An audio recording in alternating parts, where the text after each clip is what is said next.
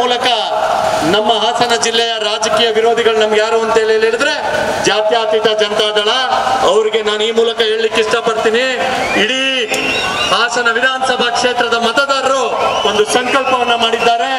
ಹಾಸನ ವಿಧಾನಸಭಾ ಕ್ಷೇತ್ರದ ಚುನಾವಣೆ ಮೇ ಹತ್ತನೇ ತಾರೀಕು ರಾಜ್ಯದ ಇತರ ಕ್ಷೇತ್ರಗಳ ದಿನ ನಡೆಯೋದಂತೆ ನಡೆಯುತ್ತೆ.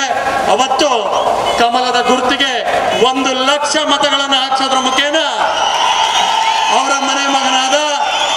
ಸಾಮಾನ್ಯ ಕುಟುಂಬದ ಒಬ್ಬ ಯುವಕನನ್ನ ಮತ್ತೊಮ್ಮೆ ವಿಧಾನಸೌಧಕ್ಕೆ ಕಳಿಸ್ತೀನಿ ಅಂತ ಸಂಕಲ್ಪ ಮಾಡೋದಕ್ಕೆ ಇವತ್ತು ಸಹಸ್ರಾರು ಸಂಖ್ಯೆಯಲ್ಲಿ ನನ್ನ ಕಾರ್ಯಕರ್ತ ಬಂಧುಗಳು ಬಂದು ನಿಂತಿದ್ದಾರೆ. ಹಾಗಾಗಿ ವಿರೋಧಿಗಳಿಗೆ ಹೆಚ್ಚು ಮಾತನಾಡಿ, ಅವರಿಗೆ ಹೆಚ್ಚು ಪ್ರಚಾರ ಕೊಡೋದು ಬೇಡ, ಅವರವರೇ ಪ್ರಚಾರ ಪಡ್ಕೊಳ್ತಿದ್ದಾರೆ. ಟಿಕೆಟ್ ತಗೊಳ್ಳೋ ವಿಚಾರದಲ್ಲಿ ಅವರು ಬಸ್ ಟಿಕೆಟ್ ತಗೊಳ್ತಾರ, ರೈಲ್ವೆ ಟಿಕೆಟ್ ತಗೊಳ್ತಾರ ನೋಡೋಣ. ಯಾರು ಬಿ ಫಾರ್ಮ್ ತಗೊಂಡು ಬರ್ತಾರೆ